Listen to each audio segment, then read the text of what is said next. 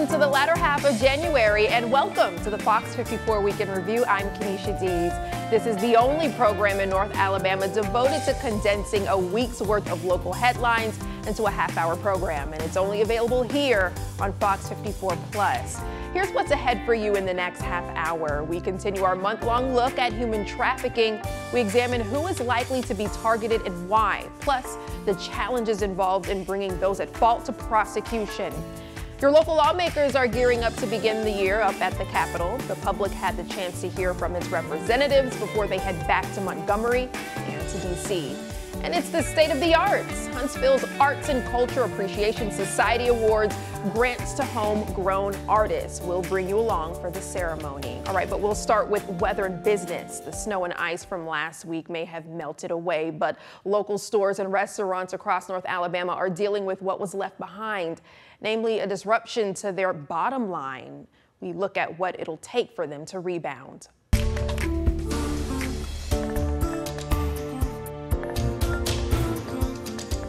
Recent icy weather conditions here in the Rocket City and surrounding areas left many inside this past week. And now that's putting a strain on small businesses. Our Jasmine Bird takes us to Athens where we hear from a few of those owners firsthand. I'm told by local business owners right here in downtown Athens on the square that weather conditions this past week has brought a lot of tension and stress to their businesses with things like no heat as well as no shipments coming in for their customers. The central unit just in these temperatures it's not able to keep up so we're having to dress in layers as you see that I'm having today. Meet Tammy Strickland, owner of Bean Beans Boutique. Of course, you know there's there's nothing coming in. I mean, you've the doors have been shut. The local business owner says it's been somewhat of a stressful week. I'm a single mom, so that's been that's been a tough deal for us. Pimento store owner Teresa Brody feels the same way. So you're looking here for us five days of being closed. And even though we're open today, it's still very slow. So um, financially, you just stop and think about a whole week's worth of income. And another one of Brody's top concerns, no shipments. We were expecting new shipments to come in last week of new merchandise and we didn't get it in because trucks weren't you know, moving, and so therefore we missed that. We weren't here ourselves, so even if they did come, we couldn't accept the shipment because we weren't here. So we're impacted in a lot of ways. Um, we love what we do. I mean, all of us who have our local businesses, you know, are living our dreams. Now, these local business owners say they're looking forward to next week as weather conditions are expected to improve. They're just looking forward to more business, seeing their customers, and just moving forward in a positive light. For now, in Athens, Jasmine Bird, Fox 54 News. This year will mark the 20th year for Pimentos in Athens. And they're celebrating in a heartfelt way each month by aiming to bring in something new. This month, they brought in a new candle called Alpha and Omega. And get this, for those who purchase the candle, part of the proceeds will go towards funding local children's school lunches. Not being able to pay for children's lunches, that portion helps take care of some of those kids. So I love that. So we're encouraging a lot of our customers to come and check this new candle out. And, and again, just that giving back to the community, which I love. Just like one day make big, big you know, different, you know. Jan Arnold, owner of Big O's Cooking at Home at Clinton Row Shops on Clinton Avenue, says last week's weather conditions definitely took her by surprise. It was ice. I mean, I couldn't believe it. You know, people actually just whatever skating around here. And from a business standpoint, financially, you know, it is pretty. Those, you know, those are hard for sure. Jeannie Gibson, owner of Creative State Gift Shop, agrees and adds that just because her business was closed, that doesn't stop the bills. Financially, we, we depend upon customers coming in and you know, purchasing items or, or us either, either at this shop or one of the others here in Clinton Row shops. And when you don't have customers, you have no income. Uh, but your rent is still due. Ashley Ingram, co owner of AM Collective, says her business was already struggling a little after Christmas, so this just made it 10 times worse. Being out an entire week of revenue really hurts us, especially since things don't really pick up sales wise until March. And on top of that, AM Collective has a short week. We're only open Wednesday through Saturday, so between the ice last week closing us down for the entire week and the rain this week, it's kind of put a damper on our January. Ingram believes January and February are just rough as it is. So this put a whole new stress on it. In Huntsville, Jasmine Bird, Fox 54 News. We actually ran into more issues with supplies than anything. Recent weather made it hard for many local businesses to receive supplies. We are a small business. We do order, you know, off of a truck for a lot of our items. We do onions for a grilled hamburger steak. I chop up onions too. We're very conscious about fresh items. A lot of our stuff we get from local stores because we get it in smaller amounts more often during the week so that it is fresh. We ran into issues with local stores. While they didn't experience the worst of it, Pappy's Place in Scottsboro is one of many small businesses that were affected. And we ended up closing on that Tuesday because the roads were still pretty bad. I think Huntsville probably got hit a whole lot worse than we did. So we opened back up and we're open Wednesday, Thursday, Friday. Huntsville and places like higher elevations, they got hit a lot harder than we did. Yeah. So most some of our stuff comes from those places. And it was kind of hard for trucks to get to us, but we still they turned it over pretty good. Yeah. But the Thompsons know a thing or two about how this winter weather can affect the business. We had a freeze last year, if you remember, it's a big freeze.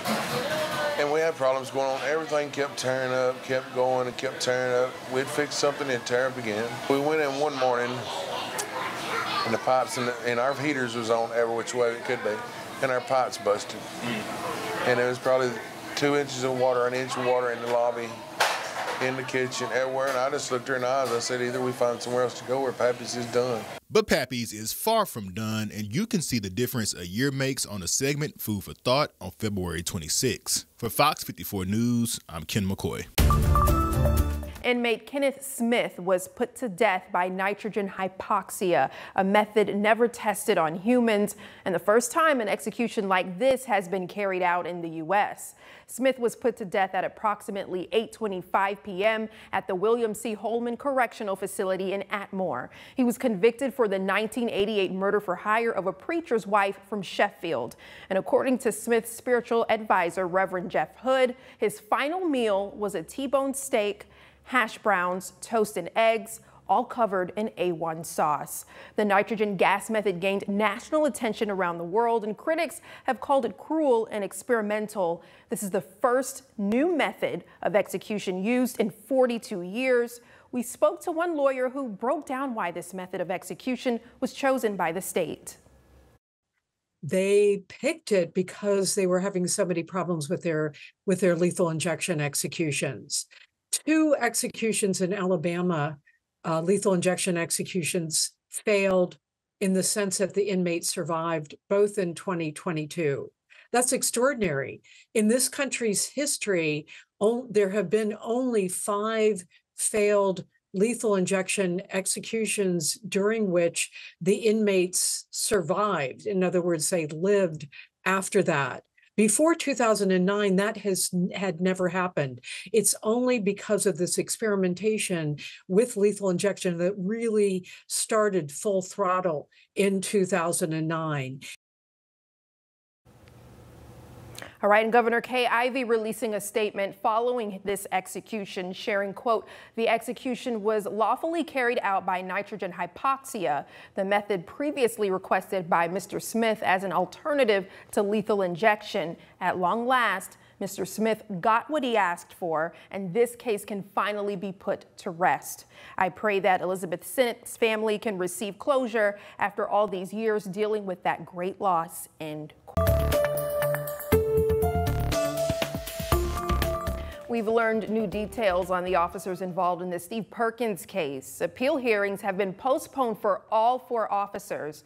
The personnel board overseeing the hearings announced today that, that the legal counsel for Vance Summers, Joy Williams, Bailey Marquette, and Christopher McAdam all requested the hearings be postponed from next week to a later date. Something important to note is that the board has to be notified no later than the end of the day on July 24th. This is if any of the officers wish to pursue the appeal process. If the board is not notified by that date, the current discipline for each officer will not be reviewed and will continue to be enforced. And what appeared to be progress in changing a controversial public ordinance in Decatur will be delayed after a single no vote. Councilmember Hunter Pepper's vote prevented any further discussion or official change to the city's parade ordinance at this morning's city council meeting. His vote was met by audible groans from the assembled audience and immediate backlash during the public comment session that followed. Wow, look how long it's taken us to even spark any amount of change in this city since September. And it's just something as simple as a parade ordinance, and you can't even immediately consider it even though it's immediately being weaponized against your constituents by our mayor. We as citizens of your city deserve better leadership up here and in that police department. Those comments come amid continued public criticism of the city's handling of the Steve Perkins police shooting death. If passed, the amended ordinance would clarify the number of people required to classify as a parade to five or more and provide exceptions for most picketing or protests. The topic was tabled and will come up again at the next council meeting. Given the population that we serve, which is generally the foreign born and culturally diverse, we find that those are people that are that can become victims of human trafficking quite easily. According to CNN.org, the State Department believes that 72% of human trafficking victims are immigrants. A lot of times they are kind of enticed with the idea of coming to the United States or getting a certain type of work only to get to wherever that destination is and and realize that they've been labor trafficked essentially. The signs that someone is being trafficked are sometimes not easy to see. Some of the signs that people may overlook is the type of control that one person may have over another. It can also be reflected in how many people live in a household or are being um, controlled with regards to their comings and goings, whether or not their phone is being monitored, those types of things can be signs. And reaching out for help is often intimidating, especially with language barriers. As far as um, why it's difficult to report it in general, selling access to a human being is very, very valuable, and they take uh, the traffickers take tremendous precautions to keep it a secret and to keep the victim compliant. Many times, the victims do not speak English fluently, so we try to make sure that it is that they are aware that we can provide services in their language, even if it's just to figure out or understand what it is that's going on and then offer them the resources from there. AshaKiran is one of many organizations that help many victims, including the foreign born. So AshaKiran is one of the organizations that supports human trafficking victims throughout the state of Alabama. We also work with other organizations throughout the state because obviously not everything is happening here in Huntsville where we are. We provide uh, shelter, emergency shelter, um, direct service resources, in addition to language assistance. And these groups are all working together for one common goal. There are several organizations and agencies that are working to combat human trafficking. We actually collaborate with the Human Trafficking Task Force, the um, Attorney General's Human Trafficking Task Force Alliance. Uh, so we are in collaboration with several organizations that are all working for the same goal, which is to bring these victims to safety. In our previous coverage, we found that having statistical data on the number of cases of victims can be hard to find because of how offenders are prosecuted. While we have strong laws against human trafficking, a lot of times uh, law enforcement will get human traffickers in custody and if it's easier to get them on a racketeering charge, for example, or a kidnapping charge, if that's got teeth and they can make that stick, they're going to want to stick them with whatever's going to get them in prison. U.S. Attorney for the Northern District of Alabama, Prim Escalona, explains why. We have some statutes where we charge for sex trafficking or labor trafficking, but a lot of times, in addition to that, we see other crimes that are being committed by those same traffickers. And so, what we do is we use every tool in the toolbox. And there's a reason for that. Sometimes, if we can charge a statute um, that does not require a victim to have to testify and be re traumatized, we'll often take that road um, because it serves the victim as well as serving the community and putting that trafficker um, behind bars. And the process has many moving parts. So it comes to us in a variety of ways. There are really two federal agencies that do a lot in the area of human trafficking. One is Homeland Security, um, and the other is the FBI. We also see a lot of cases that come in from local law enforcement. Um, and so a lot of times we'll work with our state and local partners when a case presents that could have some federal charges as well as state and local um, charges. Community partners also have a vital role. And then another way that we kind of see cases come in a lot of times is that we have really strong relationships with our community partners and community service partners. And so a lot of times we'll get referrals from that as well, um, where they know of a situation and we're able to get local or federal law enforcement to go investigate. But it always starts with an investigation. We always encourage folks, if they have tips or if they see something, to report it to either local law enforcement, Department of Homeland Security, or the FBI. For Fox 54 News,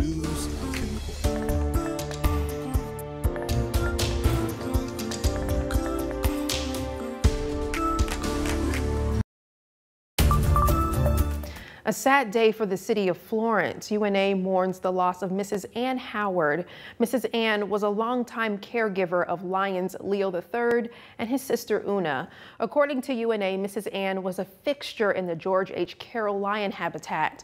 She was responsible for facilitating their arrival to campus and provided constant care and oversight to both animals. Her work with UNA spans four decades. We definitely send our thoughts to her loved ones and the UNA family. The next legislative session starts in two weeks, and Alabama leaders are focused on what they call the red meat issues. Our Ken McCoy has more from today's luncheon. So on the Senate side, what is the Senate going to be taking up? You know, last year we did economic development uh, bills, a whole economic de development package. On the Senate side, I see us early on taking on some what I'm going to refer to as red meat issues. Alabama representatives are just two weeks away from the next legislative session, and there's much to discuss. We kind of covered the, some of the issues we're going to be dealing with in, in the in the program in there. I think early on we're going to be talking about election security and school choice and then we'll move into the economic development section where we're going to try to enhance the programs we've got and make sure our workforce is participating. During today's luncheon, Senator Orr stated that this session will focus on the red meat topics. Well, I think we've seen a lot of interest in public libraries over the uh, past few months. The State Archives Board composition, the State Public Health Office and the Public Health Officer, uh, the board that appoints him, is he accountable to the, an elected person such as the governor? Those kind of issues that uh, the public has brought to our attention and want addressed. The topic of gaming was also discussed. Rex Reynolds discusses where they are in the process. Well, we, we do have a committee that's working on that. Uh, as the chairman said today, Chairman Whitt, there's not a bill out there pre-filed yet, but they, they have developed legislation and they're working with the caucus, uh, both caucuses, both the Republicans and the Democrats, and, and trying to whittle that down. As Speaker Ledbetter's gotten out there and said, uh, we're going to lead with this. We're going, we're going to put this thing to rest and put, put it in a position for Alabamians to vote on it. Sticking to a budget can be tough even for the state of Alabama. We had large budget surpluses, and now it's reverting back to the mean. We're still in, in the black, but uh, we need to be careful that we don't overspend, which could put us in the red in subsequent years. Money in all aspects is what representatives hope to get established in the next legislative session. We're working on the budget now, uh, certainly working with the Senate uh, chairman as well and with the governor's office. Uh, we've been having, we're down to weekly meetings with the governor's office, executive budget office, and uh, we've got a follow-up meeting tomorrow in person with the governor. An item up for discussion, prison funding. Our first contract on, on the first mega prison, it nearly doubled in price. We thought we would build two prisons for a little over a billion. Our first one is a billion, 600 million. uh, in itself. And so we'll, we'll hear tomorrow uh, in a briefing what that price tag is going to be for the Escambia uh, next mega prison. And we'll just have to adjust to that. Prison conditions have been a concern for both staff, inmates, and families. Reynolds shares this funding will address these concerns. This first mega prison they're working on now, um, that will be our medical facility, and, and certainly that, that increased the cost of it. Uh, but certainly, uh, you know, our overall medical contract through the uh, ADOC continues to increase. I think it's a problem we got to address. you know, we want to better manage the inmates, moving them from one place to another uh, for, for workforce development, you know, activities within, within the prisons. Uh, but we, we've also got to create a safer environment for our corrections officers. Uh, we're short of officers, and I think that's one thing that we can do to, to help increase our, our workforce participation there. And another item that comes up year after year lottery. Well, it depends what's in it. You know, the people I represent, I hear a lot about a lottery, wanting to vote on a lottery. But if it's going to be uh, giving out franchises to gamers or to gaming operations for little or no money to the state, uh, certainly not interested in that. The idea of a gaming bill is currently being worked on. We sent the bill to the House and they've not been able to move it. So Senate this year chose to start the bill in the House, and if they can move it, then we'll, we'll take it up. I'm not sure what it looks like. So, and the devil's in the details. Until you see it, you don't know what it looks like. For Fox 54 News, I'm Ken McCoy. Today, U.S. Representative Dale Strong spoke to the Decatur Morgan County Chamber of Commerce about a few topics, reflecting on the year in office and filling in residents on what national issues he thinks affect the second largest city in his district. Our Simon Williams has the story from the River City. Representative Dale Strong was back in his home district on Tuesday for the Decatur Morgan County Chamber of Commerce's Washington update, where he touted achievements for his first year in office and explained priorities for the year ahead.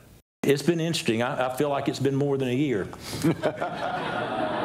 The main theme of the Q&A was how Decatur is situated among the national happenings that federal officials like Strong deal with. Topics range from the hyper-local, like the long-desired construction of another bridge to and from the River City. What we need to do is get our dollars back here locally. You spend them. You figure out where the bridge needs to go. it's going to work out. It's going to work out. If it's easy, everybody would do it. The thing that everybody understands, we need another bridge to foreign policy and immigration from people coming through places on the U.S. Mexico border. They're coming, and I'm telling you, if you believe those 200 plus that I saw coming through the mountain, that they're coming for jobs, they're not. They're coming to destroy America. In all of his answers, Strong emphasized hardline conservative Republican thinking and in a media availability after the formal Q&A, he doubled down. Well, I'll tell you this right here, the southern border is still uh, the number one issue. 8.5 million uh, people have crossed into this country illegally. This is the issue to die on the mountain for. It's time to close the border. Remain in Mexico has got to be instituted. This problem was totally created by the Biden administration. Trump had this under control. Even Obama had this under control. I'll tell you this right here. I want to improve the process of those that are coming illegally and sending them back to their country of origin. Right now, you can't have dialogue about asylum and coming into our country whenever you've got them flooding the southern border. The House remains in recess for the week, after which Representative Strong will be back in Washington for the next legislative session, which begins January 29th. In Decatur, Simon Williams, Fox 54 News. Here at Huntsville International Airport, travel is going up. In 2023, the airport experienced a record breaking number of passengers coming through compared to any other year ever. We were really thrilled to mark our largest volume of passenger traffic last year that we ever have. The last benchmark year for us was 2019, and uh, we saw 1.4 million passengers, and this year we saw 1.47 million passengers. So that's a difference of a little over 30,000 passengers. Now, this could be for a multitude of reasons. Mm -hmm. Some of the trends we're seeing is the return of business travel. Our week long warriors are back in the airport, and uh, they're regulars. We see them pretty often. And then we're uh, seeing more leisure travel as uh, folks increasingly are taking advantage of those breeze flights to nonstop destinations like Las Vegas and Orlando. Or people could be coming here to visit the Rocket City. We've seen an increase in uh, deplaning or people who are arriving here, so uh, that could probably translate to increased uh, business. People are traveling, and then also maybe we're seeing some leisure travel coming to Huntsville. You know, we have the Orion Amphitheater and so many desirable things, Space Camp. The Huntsville Madison County Convention and Visitors Bureau saw millions of visitors in 2022. We had 3.9 million visitors in 2022, and the economic impact was 2.1 billion dollars. So, uh, and it, it's no surprise that the airport has had greater traffic than than ever. And although they haven't released 2023's numbers yet, we're expecting the, the numbers for 2023 to be uh, significant increases over 2022 as well. Huntsville International Airport says because of their increase in travelers, airlines are taking notice. You're going to be seeing larger equipment. You might see more flights and you might see uh, more seats available, which is something we've really needed. So, whether you're considering visiting Huntsville or taking a trip out of the Rocket City, the Huntsville International Airport hopes you'll consider them. We're so convenient, we're so close to home, and uh, we just want people to shop Huntsville first. Taking off here in Huntsville, Sedona Meadows, Fox 54 News. And the end of January is the deadline Athens residents have given the city council to come up with a plan to fix their drainage concerns.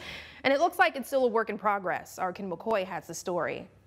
Put it on the agenda. Make it an official agenda item. Residents are fed up with the way the city of Athens is handling their concerns about sewage infrastructure. I went out there to see, I took videos and that kind of a thing, and, and I saw all of the drainage issues that they were talking about. Uh, that water was coming down from one of the subdivisions, coming straight down into their property. There was another area where the water was coming down into their property. And then I talked to some of those people. These were elderly people. 80, 70 years old, poor people, you know, they don't have much of anything and that water was piling up all in their backyard. Along with the help of the Limestone NAACP, residents gave the council till the end of January to address their concerns. However, the city explains why this item hasn't made the agenda. We have several department heads, the mayor's office, and other people who are working to find the best solution that will be one that is both amenable to the budget of the city and also to providing the best solution for the community. It is being worked on. And when we do find the solution that we think will work best, we will go forward with it. Diane Steele with the NAACP calls this a distraction. We have given you every possible opportunity to come to the urgent needs of this community. Rather, you have chosen to deny this community basic city services by not coming up with an infrastructure plan and if you have come up with one, you haven't chosen to share it with this community. You have come up with nonsense ways to prolong and deny, using senseless and intimidating door to door surveys, despite well documented conditions in this community. For Fox 54 News, I'm Ken McCoy. All right, well, the city of Madison opened the first ever Safe Haven Baby Box in Alabama two weeks ago. The box meant to save precious lives has now been used for the first time, too. I'm told that on Monday afternoon, a baby, newborn baby, was placed right here in this Safe Haven baby box anonymously. And here's how the process works. Outside of the building, on the other side of this wall, there is a door, and that door can be open. Once the door is open, the baby is placed right here in this safe haven baby box. And from there, once that door closes, it cannot be opened again. It is locked. And from that point, Madison Fire Station firefighters take it from there. On Monday, once the door closed and the alarm sounded, firefighters responded within two minutes. First responders say the baby was in good health and taken to Madison Hospital. Your child is safe, your child is healthy, and the process is already working to make sure that the process of finding your baby a home is worked. Monica Kelsey with Safe Haven Baby Boxes believes there's only one word to sum up her emotions in this moment grateful. So, if this parent is out there and watching, I want to talk directly to you. Thank you. The original Alabama safe haven law gave people 72 hours to safely surrender at a hospital. But Kids to Love founder and CEO Lee Marshall says one of the things they were adamant about was adding the additional 45 days. We felt like we needed to give women a chance to learn and to really understand themselves and their limits if they're ready to be a mom, but just not to be a parent. And that's a fine line that has absolutely no shame whatsoever. Fire Chief Dave Bailey recalls that moment on Monday afternoon. That, that day I, I was here, it was an afternoon. uh, we all were a little bit surprised by this um, beautiful little healthy baby. And, um, and uh, the baby was uh, extremely cooperative for us, thank goodness. Uh, we, we were able to definitely do a good assessment of the baby, which is in our SOPs. Uh, any medical care that's needed. In this case, what was not, so we were able to transport the baby. You see, we've got our our infant uh, car carrier here that we, as part of our preparation that and our medical bags. Um, and we were able to do a, good assessment, vital check, etc. Many of us were able to hold the baby for a few minutes, and uh, and then we were able to take her. Our, our uh, paramedics were able to take her just with a uh, in a in a staff vehicle. It's an exciting day for the arts here in the Rocket City. Arts Huntsville teamed up with a local nonprofit to award several organizations in our community. Our Sedona Meadows takes us to the celebration. It's Arts Huntsville's quote 2024 State of the Arts, meant to celebrate this past year while looking ahead to the future. This year, we're awarding $300,000 in city funded grants as part of the Arts and Cultural Grant Program, and they're supporting 22 local nonprofit organizations. State of the Arts, a clever name coming from a creative bunch who support fellow artists. One of the things I love so much about Huntsville is that they care. This funding here in the Rocket City amplifying the joy of the theater. Theater Huntsville couldn't do what we do without the support of grants from places like Arts Huntsville. While helping bring ideas to life. I think the arts, it should be twin sister to um, the whole space aerospace industry because they both deal with the power of the imagination. 22 art organizations ranging in their creative mediums will receive funding from the city. We project that these grants will serve over 180,000 children and adults in the coming year. And this art grant program in its 12th year wasn't the only thing recognized this evening. A new arts idea is emerging. Applications will be available online tomorrow for arts idea grants, inclusion, diversity, equity, and access, so that neighborhood associations and diverse cultural organizations can apply for new grant funds to include arts programming at neighborhood events across the city. And although art is visual, it can also be felt. Joy and love and just expressing whatever it is you're feeling. It can give meaning. The theater gave me a home. So as you witness the beauty of the arts here in Huntsville, know there's a space for you. Be good to yourself, be good to your art, and, and make it because if it's in you, um, if it came to you, it, it's supposed to come through you. And trust me, the world needs it. More information on this funding can be found at fox54.com. That's it for this edition of the Week in Review. Remember, we have so much more local content for you to sample every day on Fox 54 Plus. It's available for free on Roku, Fire TV, and Apple TV devices. For breaking news and weather anytime, have our mobile apps at the ready as well. For the Fox 54 News team, I'm Kenesha Dees. See you next time.